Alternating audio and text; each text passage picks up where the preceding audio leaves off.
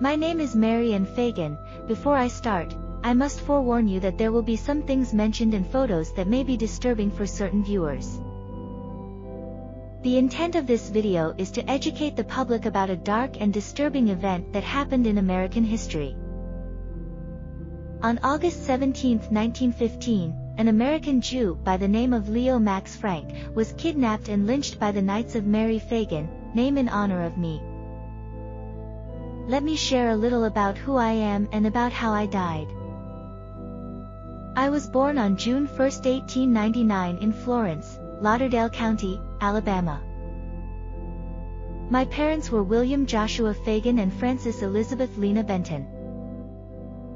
Before I was born, my father died at the age of 26 from measles. I had siblings, three brothers, Benjamin Franklin, Charlie Bryan and William Joshua and one sister Ollie Mae. I also had siblings from my mother's second marriage. After being born in Alabama, our family moved to Marietta, Cobb County, Georgia. At the age of 13, I worked for National Pencil Company.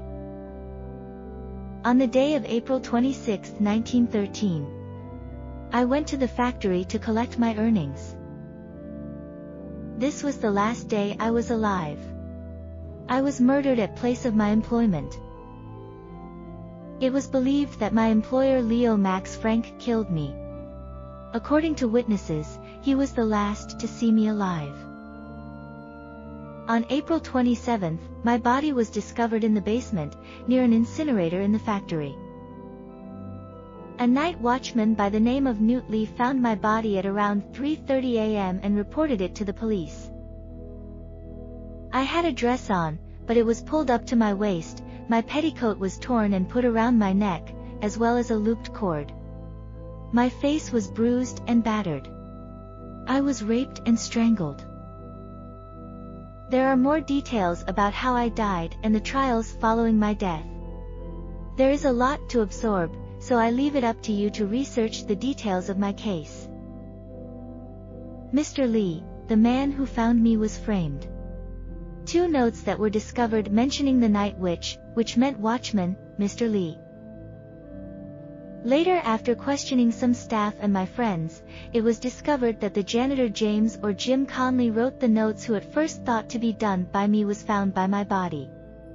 Conley was a black man, but knew how to read and write.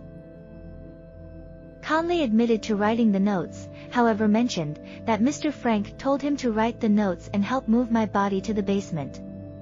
He was seen washing blood from a shirt. Police declared it was not blood, but rust. Mr. Conley mentioned while being questioned, that it was Mr. Frank that killed me. Leo Frank was convicted and sentenced to death. After many appeals denied by state and Supreme Courts. An application was then passed to Governor John Slaton. He investigated the case and found a lot of errors in the case. Eventually on June 21, 1915, Governor Slaton reduced Mr. Frank's sentence to life imprisonment, which was originally a death sentence. This decision by Governor Slaton infuriated the public. There was plans to attack him. His life was threatened shortly after Mr. Slaton and his wife moved out of state. As for Mr. Frank, in the middle of the night they moved him to Milledgeville State Penitentiary which was 150 miles away from Marietta, Georgia for his protection from the community and plans to hurt Mr. Frank. On July 17, William Creen tried to kill Mr. Frank with a butcher knife. He was a fellow inmate of Mr. Frank. A 7-inch slash to his throat severed his jugular vein. He was then admitted to the prison hospital for recovery. Tom Watson, a former populist and the publisher of the Jeffersonian was the voice for the people. Mr. Watson was provoked by Frank's final sentencing.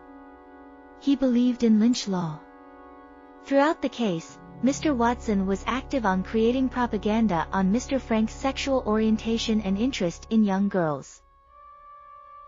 Soon after, a plan was devised by 28 men in Marietta to kidnap Mr. Frank from prison.